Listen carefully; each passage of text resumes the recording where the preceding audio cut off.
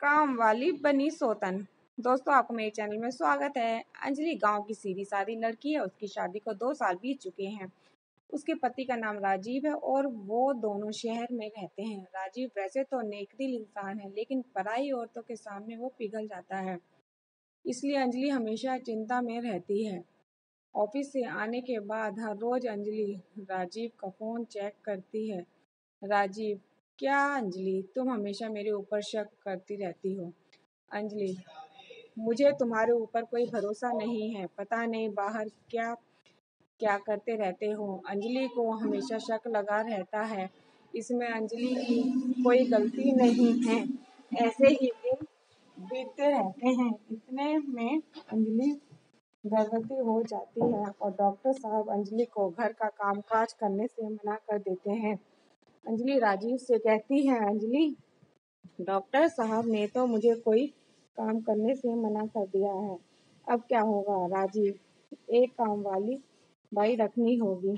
तुम चिंता मत करो, मैं सब कुछ संभाल लूँगा। राजीव काम वाली बाई की खोज करता है और दो दिन बाद रूपा नाम की एक औरत घर पर चली आती है और कहती है, रूपा, मैंने सुना है आप लोग काम वाली की तलाश में हो। मुझे रख लो, मैं बहुत अच्छा काम करती हूँ। रूपा की उम्र तीस के आसपास है और वो बहुत सुंदर भी है। रूपा को देखकर राजीव पिघल जाता है और कहता है, राजीव हाँ हाँ हम तुम्हें रख सकते हैं। बिल्कुल रख सकते हैं। अंजलि, नहीं नहीं, रुको, पहले जाँच तो कर लेते हैं कि इसका घर कहाँ है। ये आई कहाँ से है? राजीव, उसकी क्या ज़रूरत है, अंजलि? अभी हमें काम वाली की ज़रूरत है। हम इसे रख लेते हैं। राजीव अंजलि की बात नहीं सुनता है और रूपा को काम पर रख लेता है। रूपा घर के कामों में लग जाती है, मगर उसके काम से अंजलि बिल्कुल खुश नहीं है। वो हर काम आधा अधूरा करती है और काम से ज़्यादा समय सजने धजने में लगा देती है। राजीव तो बस रूपा को देखता ही रहता है। अंजलि, राजीव, अभी तक तुम तैयार नहीं हुए हो? आज ऑफ़िस नहीं जाओगे? राजीव, नहीं अंजलि। आज अच्छा नहीं लग रहा है। अंजलि आराम करती रहती है और राजीव बैठकर पूरा दिन रूपा को देखता रहता है। रूपा, अरे साहब, क्या देख रहे हो राजीव? तुम्हें देख रहा हूँ रूपा। तुम कितनी सुंदर हो। ये सुनकर रूपा शर्मा जाती और कहती है, रूपा, ऐसा ना बोलो साहब, मालकिन सुन लेगी तो बवाल हो जाएगा। राजीव तो फिर आज रात को जब तेरी मालकिन सो जाएगी, तब घर के बाहर चली। आना, हम दोनों बहुत गप्पे लड़ाएँगे। यहाँ राजीव रूपा का दिल बहलाने में लगा हुआ है और उधर कमरे के अंदर बैठकर अंजलि सोच रही है। अंजलि, आखिर राजीव को हुआ क्या है? जो रोज ऑफ़िस जाने के लिए मरता था, वो आज ऐसे ही घर पर क्यों बैठा है? कुछ तो गड़बड़ है। रात को अंजलि खाना खाकर सो जाती है। राजीव इसी के इंतज़ार में था। अंजलि के सोते ही राजीव घर के बाहर चला गया। रूपा भी चली गई और दोनों मिलकर बातें करने लगे। राजीव, रूपा, तुम्हें पता है? तुम्हारे बाल बिल्कुल रेशम जैसे हैं। रूपा, ऐसा ना बोलो साहब, मुझे शर्म आती है। राजीव, मैं सच बोल रहा हूँ और तुम्हारी आँखें इतनी सुंदर हैं कि क्या बताऊँ? और तभी अंजलि आ जाती है और दोनों को रंगे हाथों पकड़ लेती है। अंजलि अच्छा तो ये चल रहा है यहाँ। यहाँ पर मैं सो के आ गई? तुम यहाँ काम वाली के साथ गप्पे लड़ा रहे हो? अंजलि को देखकर दोनों घबरा जाते हैं। रूपा डरी हुई आवाज़ में कहती है, रूपा, नहीं मालकिन, मेरा कोई दोष नहीं है। साहब ने ही मुझे बुलाया था।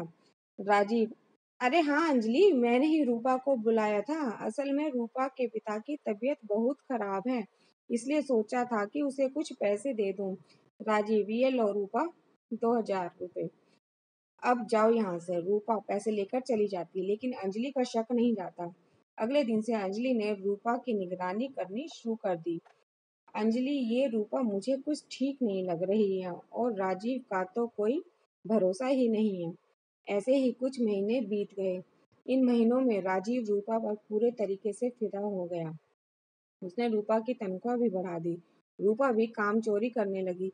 एक दिन अंजलि ने देखा कि उसके कमरे से उसकी घड़ी गायब है। अंजलि ने इधर उधर ढूंढा, लेकिन घड़ी नहीं मिली। अंजलि, घड़ी ऐसे तो गायब नहीं हो सकती। कल रूपा आई थी यहाँ, ज़रूर, उसने ही ली होगी। उसके ऊपर मुझे पहले से ही डाउट था।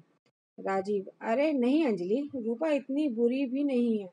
तुम्हारी घड़ी कहीं गिर गई होगी राजीव मानने को राज़ी ही नहीं कि रूपा ऐसा कर सकती है। उसके बाद से हर दो दिन में घर से कुछ न कुछ गायब होने लगा, मगर राजीव ने रूपा को काम से नहीं निकाला, क्योंकि वो तो रूपा से प्यार कर बैठा था। अंजलि ने सोचा कि कुछ तो करना ही पड़ेगा, और इसके कुछ ही दिनों बाद अंजलि अपना पेट पकड़कर बैठ गई। अंजलि, आह, दर्द हो रहा है पेट में, बहुत दर्द हो रहा है। राजीव और रूपा दौड़ कर आए। राजीव ने अंजलि को अस्पताल ले जाने के लिए गाड़ी बुलाई और रूपा के हाथ में घर की चाबी देकर राजीव अंजलि को लेकर निकल पड़ा। अस्पताल अस्पताल की तरफ़ कुछ देर बाद अंजलि ने चिल्लाना बंद कर दिया और कहा, अंजलि, पेट दर्द ठीक हो गया? राजीव, चलो अब घर वापस चलते हैं। राजीव लेकिन अभी तो तुम दर्द से तड़प रही थी, अंजलि। हाँ मगर अब मैं ठीक हूँ। अब घर, चलो घर वापस। ड्राइवर ने गाड़ी घुमा ली, घर के सामने पहुँचते ही अंजलि ने देखा कि घर का दरवाज़ा खुला हुआ है। अंजलि राजीव के साथ घर के अंदर घुस गई और उसके बाद जो हुआ, वो राजीव ने कभी सोचा भी नहीं था। उन दोनों ने देखा कि रूपा घर का सारा सामान इकट्ठा करके एक पोटली में बाँध रही है। दोनों को देखकर रूपा चौंक गई। रूपा, अरे आप दोनों? आप दोनों तो अस्पताल जाने वाले थे। अंजलि, मैंने पेट दर्द का नाटक किया था। मुझे पता था कि तुम एक चोर हो, इसलिए मुझे ये नाटक करना पड़ा। राजीव, छी रूपा, छी। मुझे तुमसे ये उम्मीद नहीं थी। अंजलि, राजीव, पुलिस बुलाओ। रूपा, अंजलि के पैर पकड़कर रोने लगी। रूपा, मुझे माफ़ कर दो, मालकिन। मुझसे गलती हो गई। मगर अंजलि ने एक बात नहीं सुनी। कुछ देर बाद पुलिस आ गई और रूपा को अरेस्ट करके ले गई। अंजलि ने राजीव से कहा, अंजलि, देखो राजीव। बीवी के अलावा और कोई सगा नहीं होता। राजीव ने अंजलि से माफ़ी मांग ली। राजीव, मुझे माफ़ कर दो अंजलि। आज मुझे समझ में आ गया कि इस दुनिया में अगर कोई मुझसे सबसे ज़्यादा प्यार करता है तो वो तुम हो। आज से मैं किसी भी औरत को आँख उठाकर भी नहीं देखूँगा।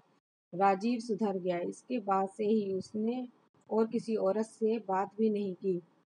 कुछ महीनों बाद दोनों को एक बेटा हुआ और वो सभी खुशी खुशी रहने लगे। अगर आपको ये कहानी पसंद आती है तो लाइक और सब्सक्राइब करें। थैंक्स फॉर वॉचिंग गाइस मेरी नेक्स्ट कहानी का वेट करो।